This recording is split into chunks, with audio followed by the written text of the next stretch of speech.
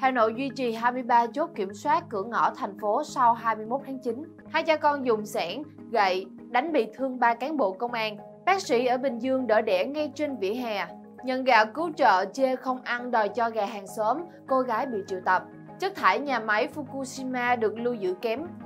Google ra mắt dịch vụ News Showcase ở Nhật Bản với nguồn tin từ hơn 40 tờ báo. Nhiều doanh nghiệp Nhật Bản nói không với sản phẩm nhựa. Mỹ đăng ảnh mừng ngày thành lập không quân Mỹ nhưng lại ghép nhầm hình tiêm kích Nga. Ngôi sao quyền Anh Park Seo tranh cử tổng thống Philippines vào năm sau. Đúc vàng thành răng giả để qua mặt hải quan. Nhật Bản sẽ sử dụng thuốc kháng thể cho F0 điều trị tại nhà. Xin chào TV, xin chào Netlove. Đến hẹn lại lên vào lúc 20 giờ hàng ngày theo giờ Nhật Bản. Khánh Nguyên chào mừng quý vị khán giả đã đến với chương trình Japan Daily Top News. Quý vị khán giả đừng quên tải ngay app Netlove để đón xem những chương trình hấp dẫn nhé. Và bây giờ xin mời quý vị cùng đến ngay với bản tin ngày hôm nay. Chiều ngày 19 tháng 9, tại buổi giao ban trực tuyến giữa Sở Chỉ huy thành phố với Sở Chỉ huy các sở, ngành, quận, huyện, thị xã về phòng chống dịch COVID-19, ông Dương Đức Tuấn cho biết sau ngày 21 tháng 9, thành phố không chia thành các vùng như trước đây mà chia khu vực xuất hiện nguy cơ để phòng chống dịch cho hiệu quả. Cụ thể, nơi nguy cơ rất cao có ca F0 sẽ trở thành điểm đỏ, phải áp dụng chỉ thị số 16, thực hiện phong tỏa, cách ly y tế. Hà Nội dự kiến cho các công trình xây dựng hoạt động trở lại với điều kiện đảm bảo an toàn. Các khu vực có dịch không được xây dựng hoặc đang triển khai mà có F0 thì phải dừng. Ông Tuấn nói kinh nghiệm cho thấy việc nới lỏng phải đi kèm với kiểm soát chặt chẽ, vì thế thành phố sẽ duy trì 23 chốt kiểm soát cửa ngõ ra vào. Thành phố sẽ tiếp tục tiêm mũi vaccine phòng COVID-19 thứ hai cho người dân từ 18 tuổi trở lên vào tháng 10 và tháng 11 khi có nguồn cung. Ông Tuấn đánh giá đây là điều kiện quan trọng để thực hiện mục tiêu kép vừa phòng chống dịch vừa phát triển kinh tế xã hội. 23 chốt kiểm soát các tuyến đường lớn của cửa ngõ thủ đô, gồm lực lượng công an, quân đội, thanh tra giao thông, y tế, dân phòng, hoạt động từ ngày 14 tháng 7 đến nay. Trong đợt dịch thứ tư, Hà Nội ghi nhận 3.922 ca COVID-19. Ngày 19 tháng 9, Cơ quan Cảnh sát điều tra Công an huyện Đức Thọ ở Hà Tĩnh cho biết đã ra quyết định khởi tố vụ án, khởi tố bị can và bắt tạm giam đối tượng Lê Văn Nhung, sinh năm 1985, trú ở xã Bùi La Nhân, huyện Đức Thọ, để điều tra và làm rõ về hành vi trộm cắp tài sản. Khi chỉ trong hai đêm, Nhung liên tiếp gây án 4 phi vụ trộm cắp trên địa bàn 4 xã của huyện Đức Thọ. Theo đó, liên tiếp trong 2 ngày 14 và 15 tháng 9, Công an huyện Đức Thọ nhận được đơn trình báo của 4 bị hại về việc bị một kẻ gian đột nhập nhà riêng trộm cắp tài sản như tiền mặt, điện thoại di động, tiến hành thu thập tài liệu, chứng cứ, lấy lời khai của người bị hại cũng như khoanh vùng các đối tượng có tiền án, tiền sự về trộm cắp tài sản tại địa phương, ráo riết vào cuộc điều tra truy xét. Bộ Công an đã đưa vào diện nghi vấn đối tượng Lê Quang Nhung, sinh năm 1985, trú tại xã Bùi La Nhân, huyện Đức Thọ. Tại cơ quan công an, đối tượng Nhung phải cúi đầu thừa nhận đã gây ra 4 vụ trộm cắp tài sản trên các địa bàn thị trấn Đức Thọ, xã Tùng Ảnh, xã Bùi La Nhân và xã Tân Dân trong hai đêm 14 và 15 tháng 9. Tài sản trộm cắp được gồm 30 triệu đồng và 12 điện thoại di động, tổng trị giá tài sản hơn 80 triệu đồng. Ngoài ra, qua đấu tranh, đối tượng Lê Quang Nhung còn khai nhận trong thời gian vừa qua còn thực hiện nhiều vụ trộm cắp cây cảnh trên địa bàn huyện Đức Thọ. Hiện cơ quan cảnh sát điều tra công an huyện Đức Thọ tiếp tục điều tra mở rộng vụ án, hoàn tất hồ sơ để xử lý đối tượng Lê Quang Nhung theo quy định của pháp luật. Ngày 19 tháng 9, Công an huyện Bảo Lâm ở Cao Bằng cho biết đang tạm giữ Ma Văn Thanh, 30 tuổi và Ma Văn Thư, 20 tuổi, con trai của Thanh, cùng trú trên địa bàn để điều tra về hành vi chống người thi hành công vụ. Theo đó, ngày 16 tháng 9 và ngày 17 tháng 9, tại xã Nam Quang, huyện Bảo Lâm, có hơn 300 người dân tụ tập khai thác vàng trái phép. Công an huyện Bảo Lâm đã phối hợp với lực lượng chức năng tuyên truyền, vận động người dân giải tán không tụ tập đông người. Tuy nhiên, một số người lợi dụng tình hình trên kích động người dân, đe dọa lực lượng chức năng gây rối an trật tự. Trong đó, Ma Văn Thanh và Ma Văn Thư dùng xẻng và gậy đánh bị thương ba cán bộ công an huyện Bảo Lâm đang làm nhiệm vụ. Trước tình hình trên, trước tình hình trên, công an huyện Bảo Lâm huy động lực lượng triển khai truy bắt cha con Ma Văn Thanh. Khoảng 15 giờ ngày 17 tháng 9, công an đã bắt giữ Thanh. Đến ngày 18 tháng 9, công an tiếp tục bắt giữ Thư. Theo Công an huyện Bảo Lâm, từ tháng 5 năm 2021 đến nay, người dân trên địa bàn xã Nam Quan thường tụ tập đông người để khai thác vàng trái phép, gây tiềm ẩn phức tạp về an ninh trật tự. Công an huyện Bảo Lâm đã phối hợp với các cơ quan liên quan trực tiếp tuyên truyền, vận động người dân giải tán không tụ tập đông người, đặc biệt là trong bối cảnh tình hình dịch bệnh Covid-19 diễn biến phức tạp. Dù vậy, nhiều người vì hám lợi nên vẫn bất chấp tụ tập để khai thác vàng trái phép. Chiều ngày 19 tháng 9, bác sĩ Huỳnh Minh Chính, giám đốc trung tâm y tế thị xã Tân Uyên, tỉnh Bình Dương và đồng nghiệp đã giúp sản phụ vượt cạn thành công ngay bên lề đường thuộc phường Uyên Hưng, thị xã Tân Uyên. Khoảng 17 giờ, bác sĩ Huỳnh Minh Chính, giám đốc trung tâm y tế thị xã Tân Uyên cùng một bác sĩ khác đang trên đường đi họp. Khi cả hai đến đoạn đường thuộc phường Uyên Hưng, thị xã Tân Uyên thì thấy sản phụ ngồi sau xe máy do một người đàn ông chở, la lớn và muốn trèo xuống xe. Thế vậy bác sĩ chính kêu người đàn ông đi xe máy tấp vào bên đường và tiến đến hỏi thăm thì phát hiện sản phụ bị vỡ ối, chuẩn bị sinh. Trước tình huống này, bác sĩ chính và đồng nghiệp đã kịp thời đỡ đẻ giúp sản phụ vượt cạn thành công và hạ sinh bé trai nặng 3,4 kg. Sau đó, bác sĩ chính gọi cấp cứu đưa hai mẹ con đến trung tâm y tế thị xã Tân Uyên theo dõi sức khỏe. Qua test nhanh, sản phụ âm tính với SARS-CoV-2. Hiện sức khỏe của hai mẹ con đang ổn định. Ngày 19 tháng 9, Công an phường Hiệp Thành, thành phố Thủ Dầu Một, Bình Dương đã triệu tập Lê Thị Phương Anh đến làm việc về hành vi chia sẻ thông tin lên mạng xã hội thiếu chuẩn mực, gây bức xúc dư luận. Ban chỉ đạo phòng chống dịch Covid-19 phường Hiệp Thành cho hay, thời gian qua địa phương đã tích cực triển khai việc đưa gạo, lương thực, thực phẩm đến hỗ trợ cho các hộ dân khó khăn và nhà trọ trên địa bàn phường. Tuy nhiên, khi nhận được hỗ trợ, Lê Thị Phương Anh đã chia sẻ thông tin trên trang Facebook cá nhân tên Phương Anh với nội dung hàng cứu trợ hai lần mỗi tuần một bao gạo với mấy gói mì. Gạo thì tớ còn đầy, mì thì tớ không thích ăn. Giá mà đổi hai bao gạo này được một bó rau nhỉ? Thôi để dành cho đàn gà nhà hàng xóm của người ta ăn vậy, cứu trợ cho gà nhà người ta. Sau, ngay sau đó, Công an phường Hiệp Thành đã mời Phương Anh đến làm việc. Tại buổi làm việc, người này nhận thấy nội dung đăng tải trên không đúng, lời lẽ không phù hợp, đã gỡ bài đăng và cam kết không tái phạm.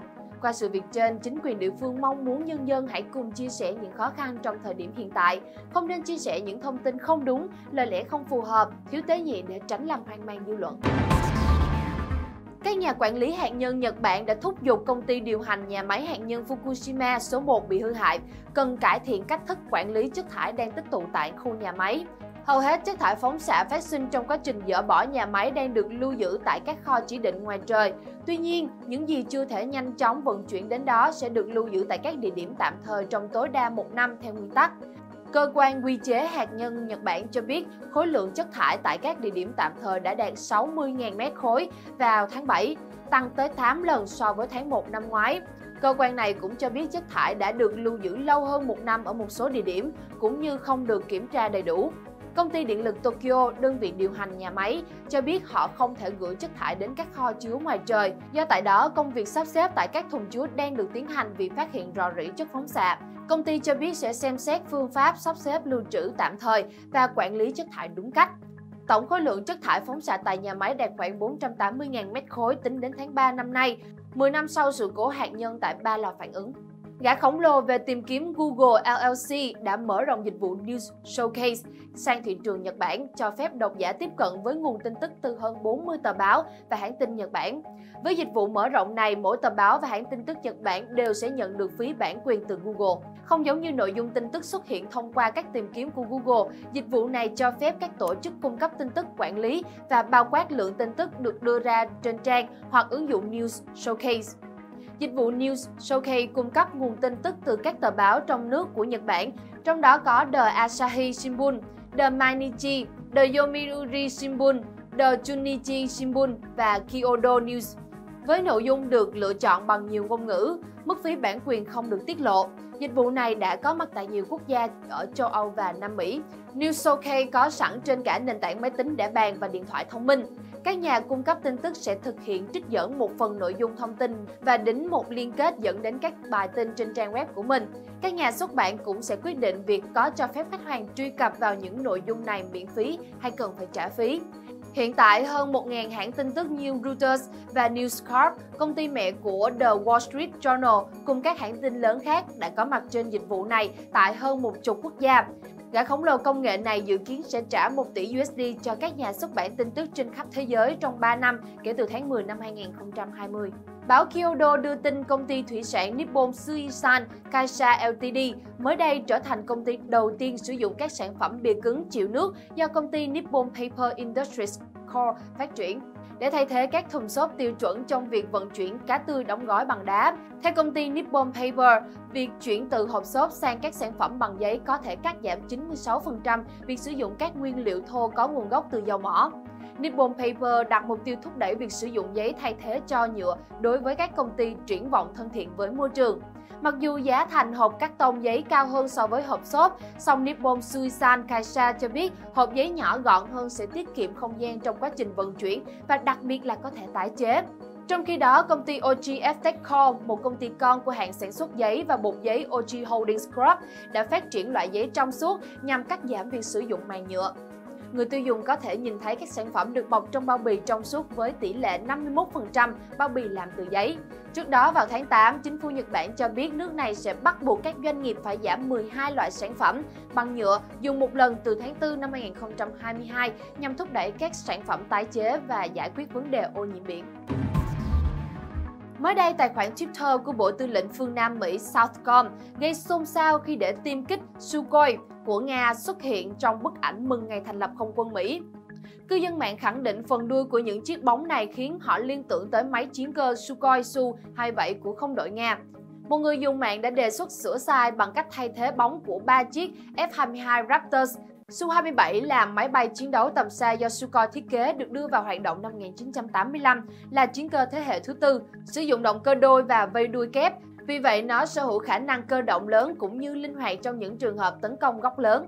Trong khi đó, F-22 Raptor là máy bay tiêm kích thế hệ thứ 5, sử dụng công nghệ tàng hình hiện đại nhất và được mô tả là có khả năng tác chiến không đối không hiệu quả nhất.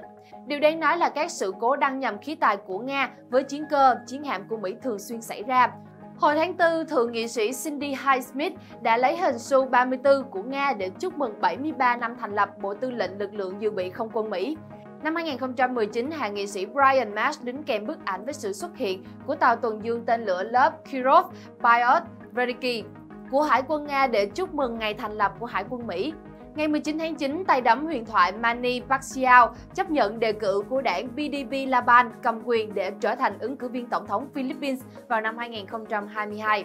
Thượng nghị sĩ Pacquiao, 42 tuổi cho biết, tôi chấp nhận đề cử với tư cách là một ứng cử viên tổng thống của Philippines. Tôi là một võ sĩ và tôi sẽ luôn là một võ sĩ trong và ngoài võ đài. Theo hãng tin Reuters, Manny Pacquiao là một trong những võ sĩ quyền Anh vĩ đại nhất mọi thời đại sau 26 năm thi đấu chuyên nghiệp. Ông từng vô địch thế giới ở 8 hạng cân khác nhau và lập nhiều kỷ lục xuyên suốt sự nghiệp. Cả Pacquiao và Tổng thống Duterte đều cùng là thành viên của đảng DPD Laban cầm quyền, nhưng hai người có mối quan hệ cơm không lành, canh không ngọt. Thượng nghị sĩ Pacquiao chỉ trích vấn đề tham nhũng trong chính phủ của ông Duterte, cũng như việc Tổng thống không kiên định trong vấn đề Biển Đông. Ông Pacquiao cho rằng gói viện trợ hơn 200 triệu USD cho gia đình nghèo trong đại dịch là thiếu cơ sở, đồng thời cảnh báo sẽ bỏ tù các quan chức chính phủ tham nhũng. Đáp lại, ông Duterte thách thức ông Pacquiao nêu tên các cơ quan tham nhũng để chứng minh võ sĩ huyền thoại không dùng chiêu trò để vận động tranh cử. Một kẻ buôn lậu đã cố tình ngụy trang số vàng trị giá 5,5 ngàn USD thành răng giả nhằm đánh lừa hải quan tại sân bay New Delhi. Một người đàn ông mang quốc tịch Uzbekistan tối ngày 28 tháng 8 đáp xuống New Delhi, Ấn Độ sau chuyến bay từ Dubai thì bị bắt quả tang cố gắng che giấu 95 gam vàng bằng cách đúc thành bộ răng giả với kích thước lớn. Các nhân viên hải quan cảm thấy nghi ngờ hai người đàn ông khi họ hướng tới lối đi không cần khai báo để rời khỏi sân bay New Delhi. Nhà chức trách đã gọi hai người này lại để kiểm tra và phát hiện ra số vàng. Ngoài bộ răng giả bằng vàng, anh ta còn nhồi một sợi dây chuyền bằng vàng vào miệng nhằm qua mặt lực lượng hải quan song không thành. Bộ Y tế Nhật Bản sẽ cho phép các bác sĩ thực hiện phương pháp điều trị bằng hỗn hợp thuốc kháng thể cho bệnh nhân COVID-19 đang cách ly tại nhà, sau khi tính an toàn của phương pháp này được xác nhận. Việc điều trị bằng phương pháp này ban đầu chủ yếu dành cho các bệnh nhân đã nhập viện. Đến nay, Bộ Y tế Nhật Bản quyết định mở rộng điều trị cho các bệnh nhân trên toàn quốc bằng phương pháp này, với điều kiện các bác sĩ phải theo dõi tình trạng của bệnh nhân trong 24 giờ sau khi dùng thuốc. Bộ Y tế Nhật Bản cũng cho biết sẽ kiểm tra các cơ sở y tế chịu trách nhiệm có sẵn hệ thống giám sát bệnh nhân cách ly tại nhà, cũng như đảm bảo an toàn cho người bệnh hay không. Osaka sẽ là địa phương đầu tiên tại Nhật Bản áp dụng phương pháp điều trị hỗn hợp kháng thể cho bệnh nhân COVID-19 tại nhà. Và thưa quý vị, thông tin vừa rồi cũng đã khép lại chương trình Japan Daily Top News của chúng tôi ngày hôm nay. Khánh Huy xin chân thành cảm ơn quý vị đã quan tâm theo dõi. Xin chào và hẹn gặp lại quý vị trong chương trình ngày mai.